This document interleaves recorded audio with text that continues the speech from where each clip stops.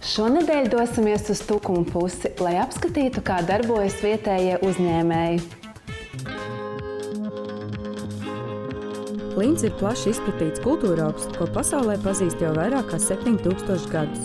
Tepat Latvijā, Tukumā, ir brīnišķīgs veikaliņš, kurā iespējams iegādāties simtprocentīgas līnijas izstrādājumus, ko veikals pats arī darina ar tautas daļamata meistariem.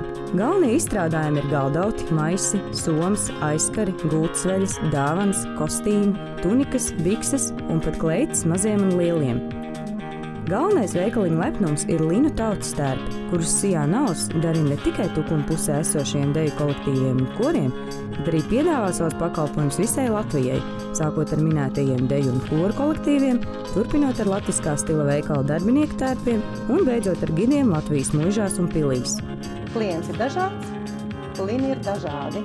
Un atnāk un tad citi brīnās, nu kā pie jums tik daudz dažādu linu, tādas krāsas. Nu, mēs cenšamies. Ir klienti, kas piekrīt dabīgam stilam, tas ir manam stilam, bet ir, kam vajag krāsas. Tuvojoties dziesmu un deju svētkiem, ikvienam kolektīvam ir iespēja pasūtīt savus tautas darbus, kurus papildus iespējas stilizēt, izšūt savus rakstus vai iešūt aizsargājošās zīmes. Aizsargājošās zīmes uzņēmums piedāvā izšūt arī citiem tērpiem vai līniju izstrādājumiem, piemēram, gultsveļai, dvieļiem, priekšautiem, somām un citiem priekšmetiem.